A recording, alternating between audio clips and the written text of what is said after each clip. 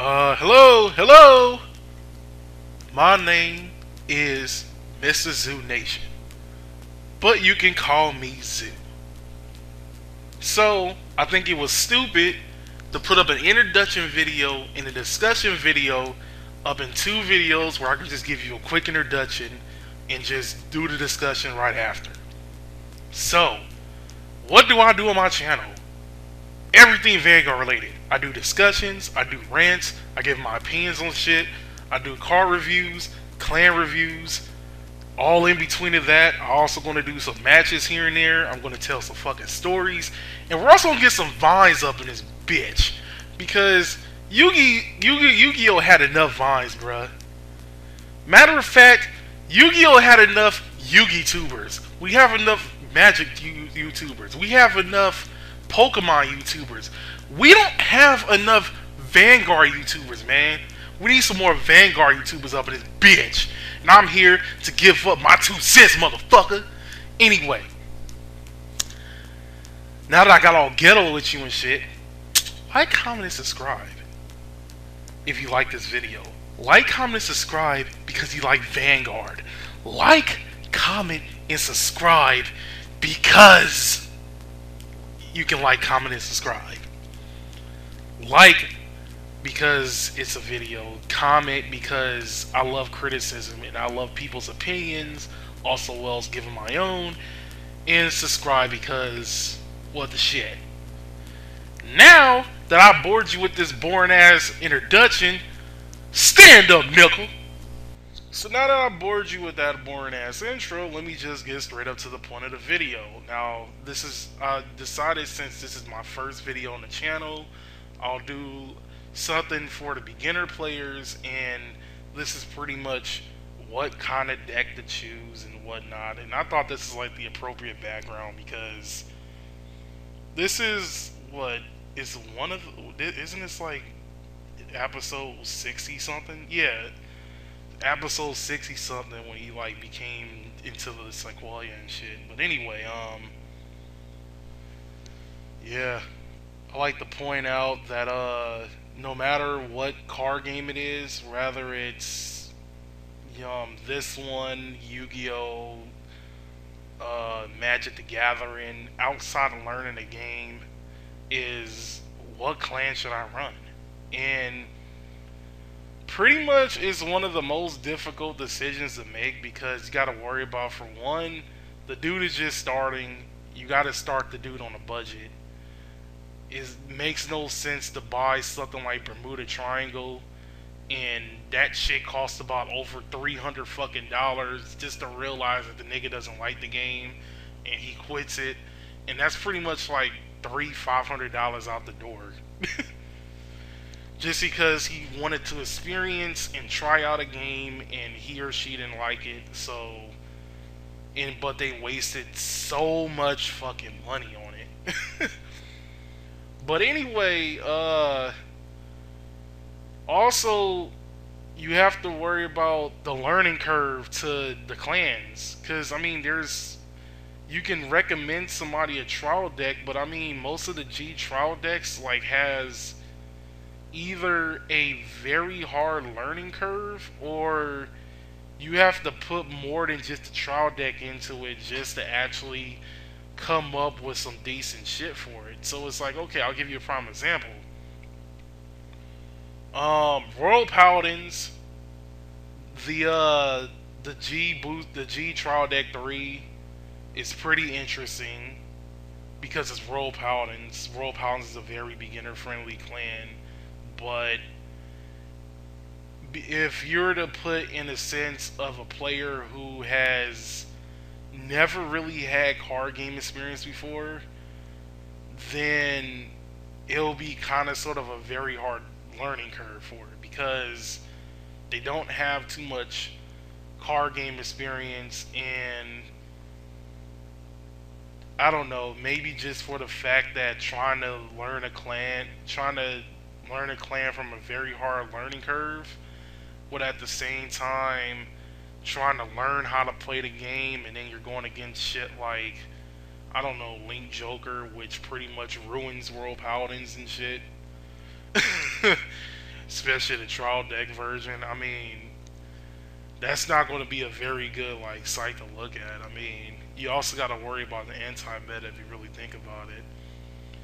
And then you have clans with a very hard learning curve, like Pale Moon is a prime example. I feel, in my opinion, that any deck that requires soul charging as their main mechanic is just very hard to learn because you ha- it really depends on what you soul charge and sometimes what you soul charge can make and break the game. Like there'll be times when I'll play Pale Moon and every time I soul charge, I soul charge but triggers.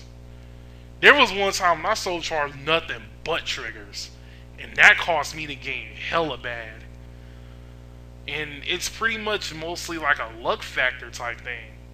So, trying to somebody to put that much luck on one clan and trying shit out like that is just that's that's that's bad. You're you're it, it's just all going to end up bad. Probably tell them when him or her when they learn the game more. Probably if they want to try it out, then do so. I mean, to be honest, I think they should eventually, after learning the game, try out whatever clan they want to, to see if they like it, see if they hate it. But so I guess if you really think about it, you what you want what they really need to look for is a clan that is budget friendly, has a very easy learning curve, but can also keep up with the competition all at once. And my conclusion to all this leads to Kagero. It leads to Kagero because it's pretty much the oldest clan in the game. It has a shit ton of support. It has enough support to make a budget version, an expensive ass version, and even in between.